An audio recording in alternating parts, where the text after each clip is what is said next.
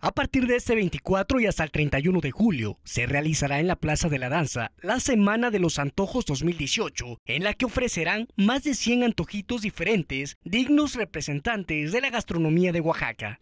En el evento que fue inaugurado por Ivette Morán de Murat, esposa del gobernador del estado, en compañía del edil de Oaxaca de Juárez, José Antonio Hernández Fraguas, participan más de 50 expendedores de productos en igual número de stands que ofrecen una amplia gama de bebidas, comidas y postres como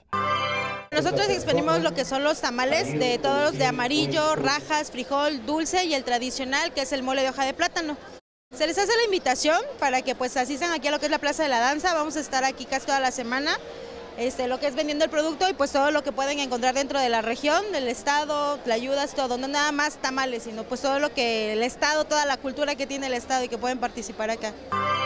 Las tradicionales tlayudas no pudieron faltar en esta feria, pues es una comida típica que caracteriza al estado. Pues esta feria más que nada tiene que ver con muchas de las personas que no pueden llegar a, tener puestos grandes, pero normalmente trabajan en sus colonias, que han sido por 10, 20, hasta 30 años, gente que ha sabido cultivar la tradición, desde los hijos, los nietos,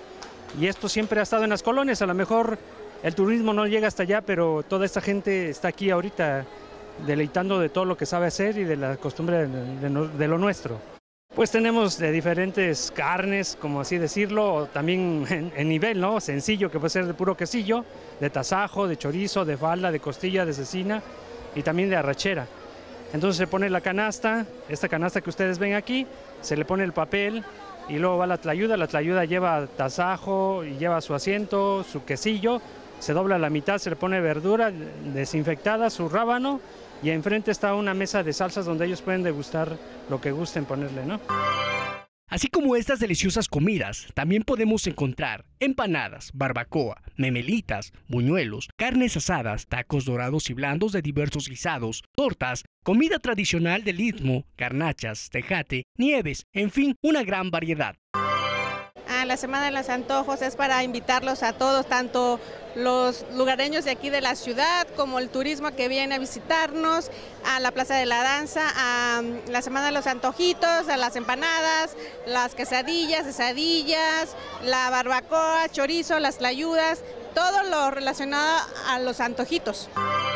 En esta feria los dulces regionales para consentir el paladar tampoco pudieron faltar. Hago los dulces regionales de Etla, una herencia deliciosa. Son 13 dulces diferentes. Estamos aquí en la Plaza de la Danza, en la Semana del Antojo. Son ocho días, del 24 al 31 de julio, de martes a martes, de 12 del día a 9 de la noche. Estamos a unas tres cuadras del Zócalo de la ciudad, a un costado de la, Iglesia de la Soledad, donde 43 artesanos oaxaqueños traemos desde las garnachas, ayudas, tortas, tostadas, los dulces regionales, piedrazos, todo lo en vinagre, cualquier antojo oaxaqueño aquí lo encuentran, los esperamos.